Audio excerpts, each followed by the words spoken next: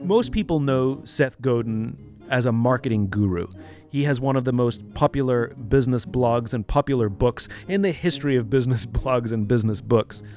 Seth is known for his opinions about entrepreneurship as well. He's a huge champion for the entrepreneur. So I wanted to ask him if entrepreneurship has changed in this modern day, but also given the times that we're living in.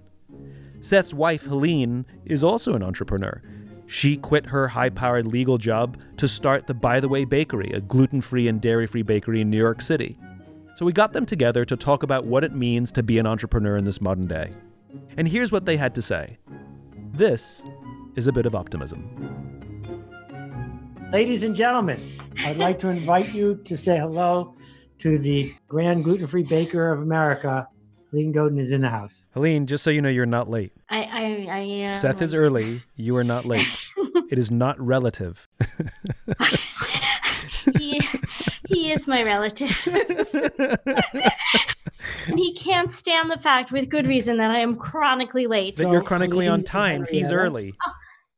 I'm so glad we're doing this. And I thought, what a wonderful thing that we could talk about is entrepreneurship and what it takes to be an entrepreneur because both of you entrepreneurs. Seth, a long time ago, you quit your job to start your own business. And Helene, you were a high powered corporate attorney who also decided to take the plunge. And I'm very curious to know, because you've both been on very separate entrepreneurial journeys, what does it take to be an entrepreneur today? You go first. I'll go first. Entrepreneurship is not simply a job, it is a posture of possibility. And there are social entrepreneurs who are building important ventures that don't make any money. And what it means, I think, to be an entrepreneur is to say, I have something to contribute. There is no roadmap. I might have a compass, but I want to show up and try to make things better in a way that a public that has a choice could either choose or not choose. And entrepreneurs haven't changed every corner of the world, but a lot of what we see in our built world, in our modern world that's better, is better because a human being showed up and built something. And I think you have to come to entrepreneurship from a place of generosity, of saying, what can I do to make someone's life better? And in my case, I loved being a lawyer, and I think most of my clients really liked me. But I wanted to go on a journey where I could bring something tangible and sweet to people and get tremendous joy every day out of doing that. And I have a tiny little niche of people who happen to be gluten free or dairy free. But within my niche, I make them happy, and that makes me happy. I've always thought it was interesting. I think the term entrepreneur or entrepreneurship is thrown about a little too loosely. It's used interchangeably very often with a small business owner. Mm-hmm. And small business owners own small businesses, but entrepreneurs solve problems. And you have entrepreneurs in corporations. They don't all own small businesses, and not all small business owners are entrepreneurs. So I love your definition, Seth, because I think that we have to recognize that, especially now, there are entrepreneurs trying to affect social change. They're trying to solve problems in unique and novel ways. You are correct. And I bend over backwards to talk about freelancers not being entrepreneurs and they should be proud of it. That being a freelancer is a job without a boss and you can get better at it. And that's important. And a small business owner is a job without a boss and it's also important, but it is different than the posture of the entrepreneur.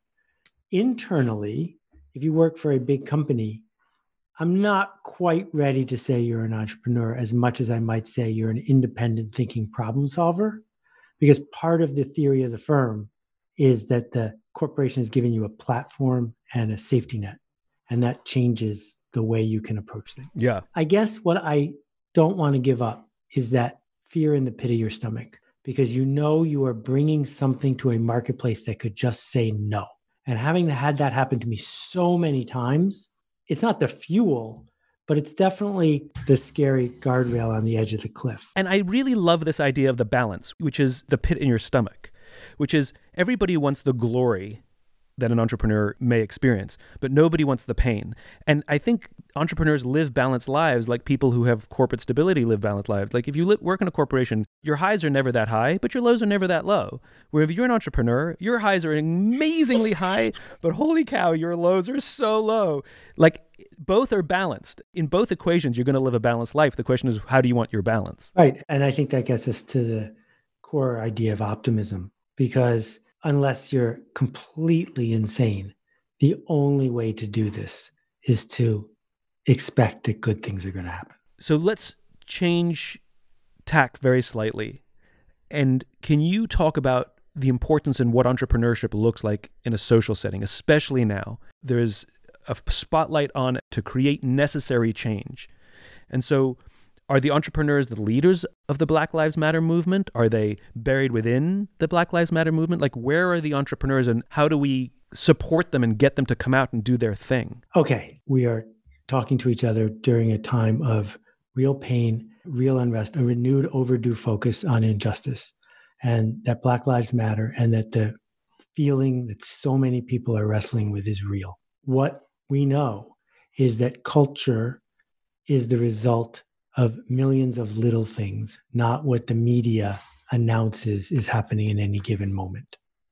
And cultural change sometimes happens really fast and sometimes it takes way too long, but it happens not from the bottom, that's the wrong word, but from the roots, from the grassroots, from people. And the question is, where do the seeds get planted and then what grows around them?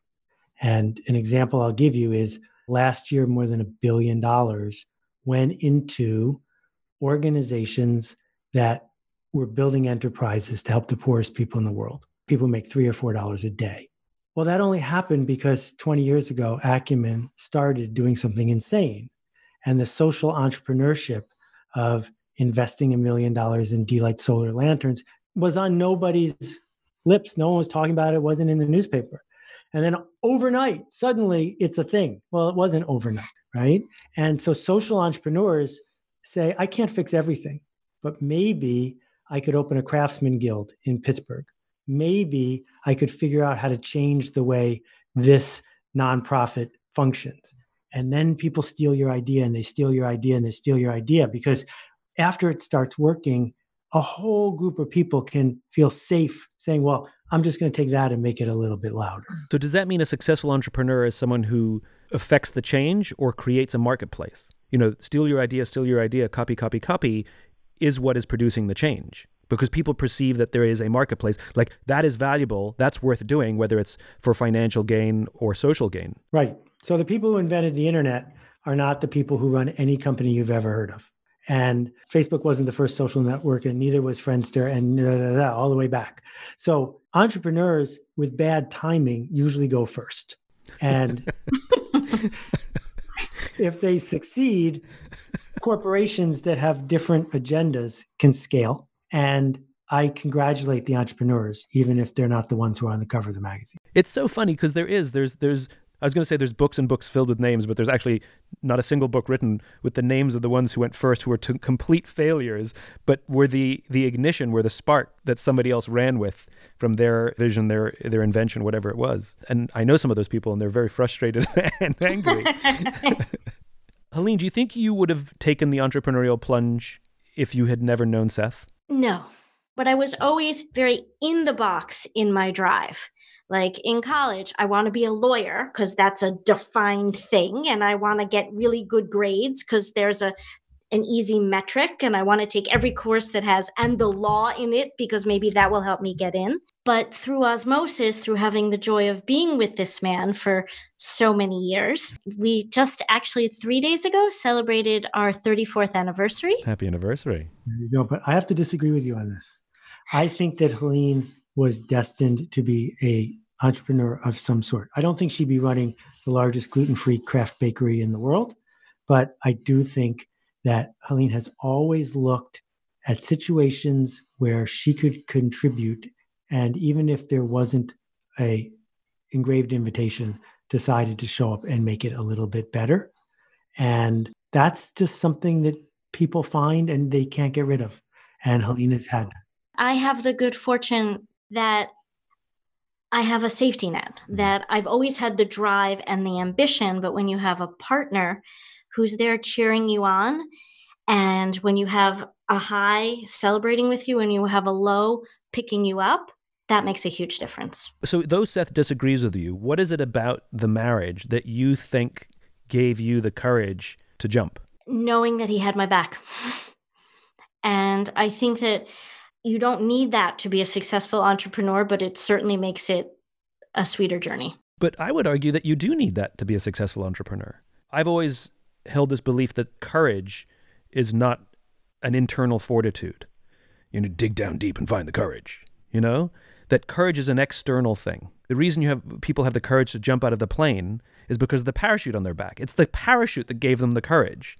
Or a world famous trapeze artist would never try a brand new death defying act for the first time without a net. It was the net that gave them the courage. And I've had the chance to meet men and women in uniform who have actually risked their lives to save the lives of others. They were not ordered to, they would not have been faulted if they didn't. Mm-hmm. They risked their lives with the belief that they will probably die in doing this action, but they didn't. And I had the chance to ask them, why did you do it? And almost to a T, they all say, because they would have done it for me. It was the belief that someone had their back that gave them the courage to act. Yeah, I mean, you've done really important work in understanding the power of uniform and the way the armed services have, you know, the whole leaders eat last mindset, et cetera. It's not the parachute that gets someone to jump out of the plane. It's the fact that your brothers and sisters are jumping out of the plane before you and after you, right? I think, though, we have to distinguish this in the sense of entrepreneurs because most successful entrepreneurs don't actually think they're taking a risk. Go on. So, what it means to think you're taking a risk is that you don't have control and you don't have an out. And what successful entrepreneurs do, they don't bet everything on red 32. What they do is they are seeking to control what looks uncontrollable to people in the outside world. And they are finding bets that they have enough resilience to survive if they're wrong. And they are showing up doing something that feels way less risky than working at Ford Motor Company. Because Ford Motor Company once laid off 10,000 people in one day. And all 10,000 of those people didn't do one thing wrong except trust the system.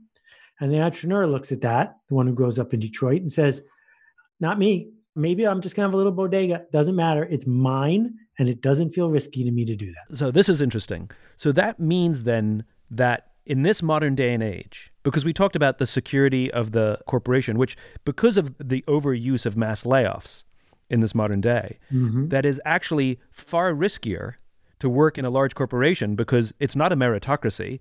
If the company misses its arbitrary projection, as you said, the next day you have no job through no fault of your own. So it's a false sense of security just because the organization happens to be large and have a lot of money. Whereas an entrepreneur is if I lose my job, first of all, it's totally within my control. And it's unlike a corporate job where one day I'm employed and happy, the next day I didn't even realize I'm unemployed. Whereas as an entrepreneur, it really doesn't happen overnight like that. You can kind of see it petering out. so I want to go back to social entrepreneurship. I want to understand what a social entrepreneur looks like and if it's different than a business entrepreneur. So, one of the keys is scale because social entrepreneurship that you do in the small is important, but doesn't change the culture enough. So, how do you get to scale? You can get to scale in a couple ways. One way you can get to scale is you can publish the playbook, meaning you figure out the cure to a disease and you publish it in a journal. And now lots and lots of people can go to work doing it. The other way to do it is to figure out how there's enough surplus created from the intervention you're doing for you to hire more people. And so if I think about the Aravind Eye Hospital, the Aravind Eye Hospital has saved the eyesight of more people in India than there are in LA, Chicago, and New York put together, total. And the deal when you get to Aravind is you can either pay $130 to have your cataracts removed or zero. It's up to you. And you get exactly the same doctor. And what Dr. V did in building Aravind was he said, How do I take the methods of McDonald's and apply them to high quality, high throughput cataract surgery? And this would never have worked in a nonprofit organized hospital because your goal there is deniability and stability. And Dr. V is I'm willing to fail, not any given patient, but in my process on my way to figuring out how to deliver this thing at a cost so that the $130 operations not only pay for themselves, but pay for the free ones. And he got good enough at it that if you've ever had eye surgery in the United States, it was probably done by an ophthalmologist who trained at Aravind in India. Because in one day at a New York hospital, you might do two or three. But if you go to Aravind, you get to do 18. And so you get better faster and you get better patient feedback. The point is, if you had come to the government of India 40 years ago and said, We'd like to solve the cataract problem, what's the best way to get 40 million people their eyesight back? This is probably not what they would have suggested. But because Dr. V had a scaling mindset, he was able to do this thing. So, can you be an entrepreneur without a scaling mindset? Like, what's the definition of scaling? Right, exactly. That was the point. Is scaling can happen if you are willing to give up ownership and eagerly have people copy what you're doing.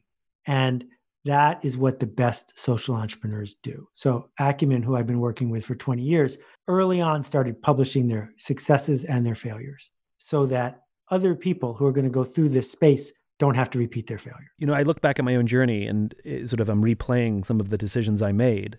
And there's lots of people in my space who, when they have their PowerPoint or give their speech, they put a little TM at the end of whatever the word is that they came up with, that basically it's all the same thing. And every ad agency is the same thing, like brand essence, brand DNA, you know, whatever it is, it's all the same thing. And they all put a little TM on it, which basically says, don't touch mine. Exactly.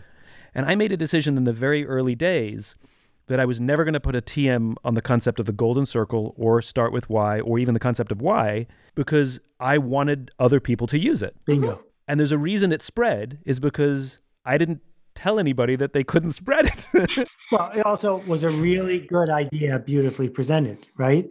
And when permission marketing showed up in the Oxford English Dictionary, that was a big win for me because it meant I didn't have to work as hard to get people to understand this idea.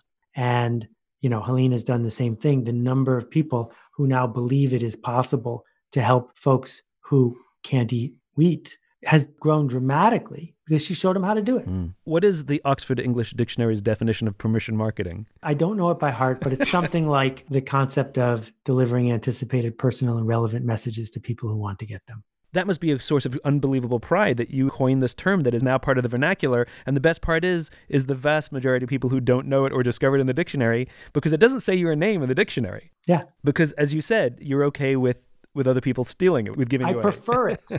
the reason I prefer it is I didn't set out to corner the market. I set out to change the market. And if I have to deal with the fact that people think it's my fault or it's not working right, then they call me and say, What do you think? Or can you fix this? It's like, no, I, I put this idea in the world. You should do with it the best you can, but I'm not owning it. And that means I'm not controlling it either. Well, and I think there's a certain push if you put it out in the world and you make it possible for others to try and replicate and encourage people to replicate it forces you to always be on your game to always be the best you can as a leader and as a, a colleague in the space so going back to social entrepreneurship, the question is, is how does somebody in, in a social space create something that inspires others to want to steal it and do it and take over it and claim it as their own? Right. Because social entrepreneurs have the same egos and insecurities as any kind of entrepreneur, which is we do want to be recognized for the thing we did. It's why we put TM on everything. Right.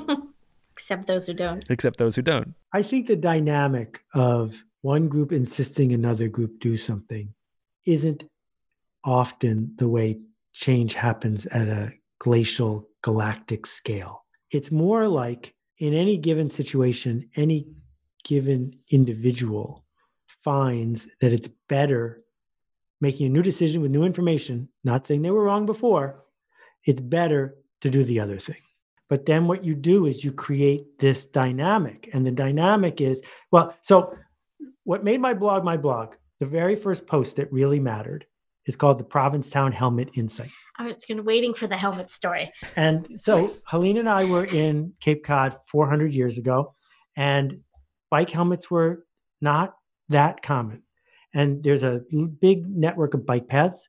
And I noticed, because I noticed things, everyone on the bike path is a couple, and every couple is either both wearing a helmet or neither person's wearing a helmet.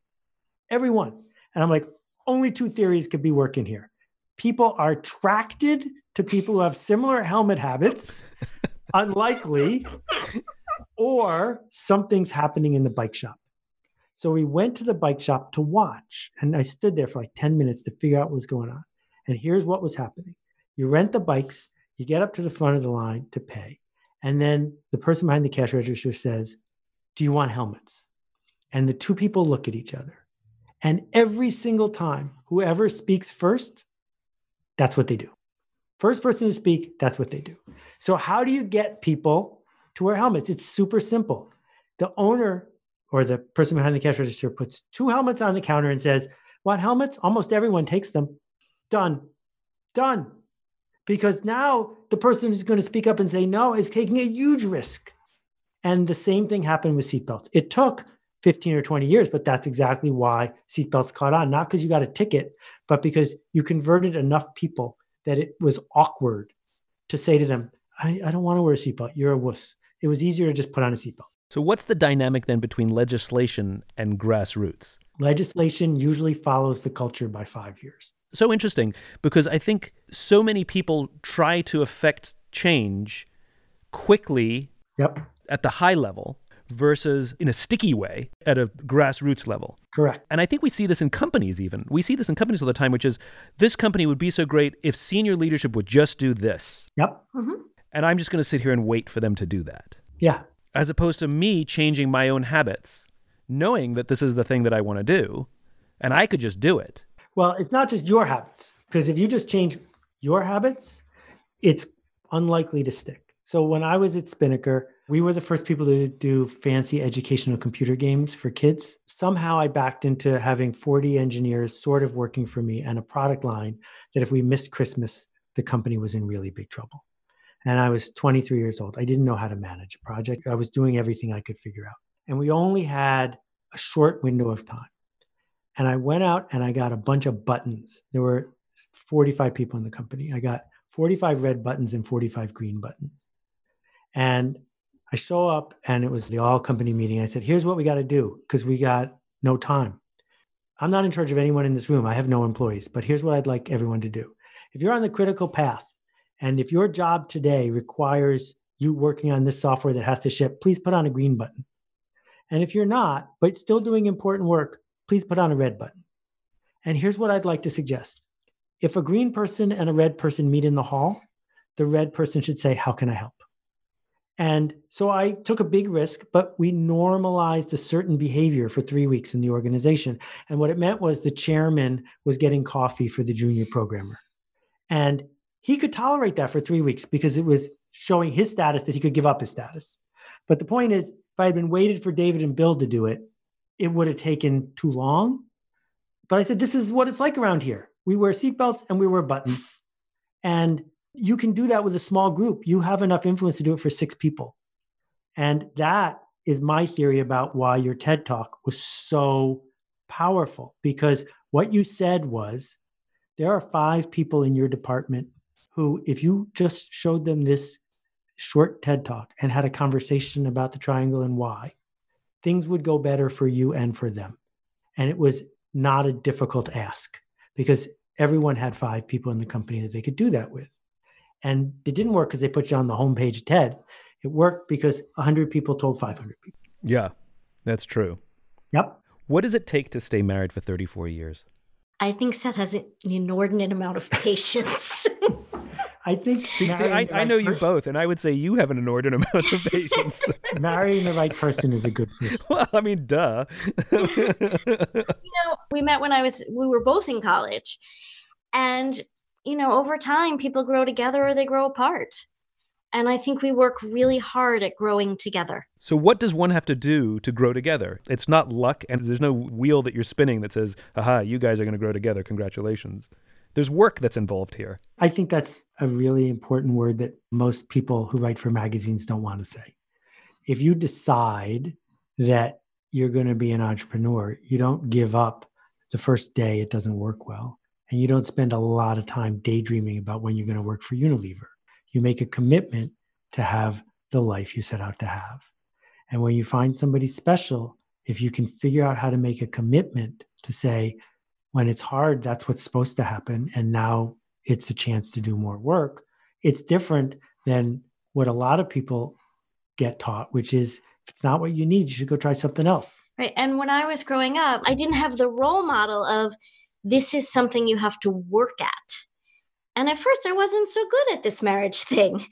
And it is true that, like being an entrepreneur, it's work. So this the world's colliding here, which is the mentality of being a successful entrepreneur, which is the willingness to keep at it because you believe in it, is the same thing that is required to have a successful relationship. I love that. And I think this goes to the whole idea that, you know, people talk about work life balance as if they're completely separate worlds. Like you have to find work life balance. You know, the only difference between work and home is, you know, the clothes you wear and the chair you sit on. It's you. And these days they're not different. and these days they're exactly the same. Exactly. Congratulations, you have work life balance. Same clothes, same chair. It's you. Like the reason your friends love you is the same reason your colleagues love you or your clients love you. It's you. And if you're showing up differently in one of those two places, then in one of those two places you're lying.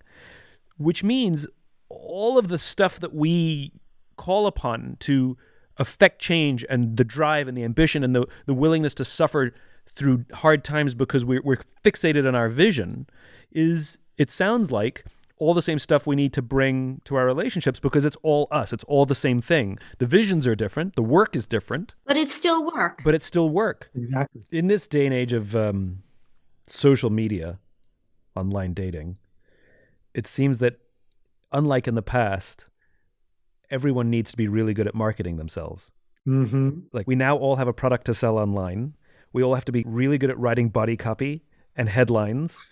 and we have to be good art directors so that people will find our product appealing. Where before you just needed to be your bumbling self and someone would either find that appealing or not. And so, does that mean that there's a young generation that are better equipped to be entrepreneurs? Or, you know, has this idea of self marketing helped the bigger category of marketing or hurt it? What a juicy question. well, I, I think that at some point the rubber's going to hit the road that like you may have the best photoshopped photo on Tinder, but at some point you have to meet the person and present in real life. And that's where the true work comes in. But there are some people who are really good at getting the date. It's true. But you don't get the second date. So you're talking about marketing. So my eyes lit up. But here's the deal there are two kinds of marketing. The one you just described is hype and hustle and sizzle and the surface. And it's nothing I have truck with in any area. And that's what I keep writing about. The other kind is how many true fans do you have? And how many people can't go to bed without talking about how cool the thing you make is?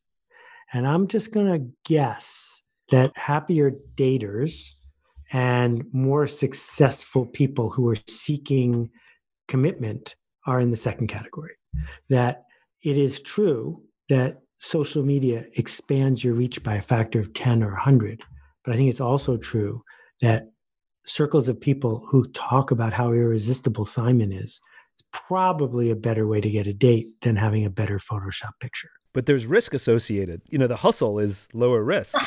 Correct. The hustle is lower risk, but at some point you get found out and you have to be your very best. Or you hope that if I can just get my foot in the door, it's kind of like a resume, right? It's like I'm going to tell them how wonderful I am and how everybody loved me in my former job and how I was responsible for all these huge budgets and all these product launches. Because if I can just get the interview, then I'll show them that I'm great. Yeah, and I don't believe in resumes either. Um, you know, I think you are you are correct. If churn is fun for you, this is the best moment in the history of humanity. But it's not clear that churn leads to long term happiness. Okay. Did I ever tell you the story about the person who was down on their luck and was trying to raise money in the short run versus how to market Microsoft?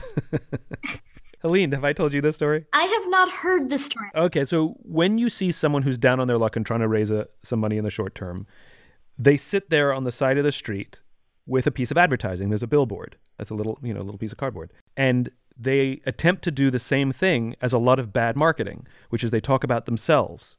I'm homeless, I'm hungry, I'm, I'm a veteran, you know, the whole list of things to, to try and appeal to whatever audience finds that thing appealing, which is no different than Microsoft or any other company taking out a, a big billboard that says more memory, more speed, bigger screen, cheaper.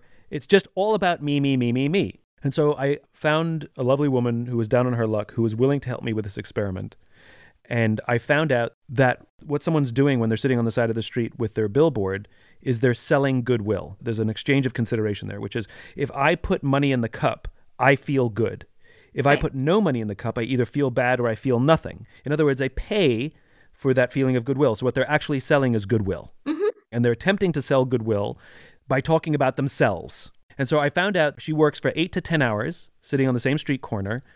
And a good day of selling goodwill, she'll make between 20 and $30. It's sad. Yeah.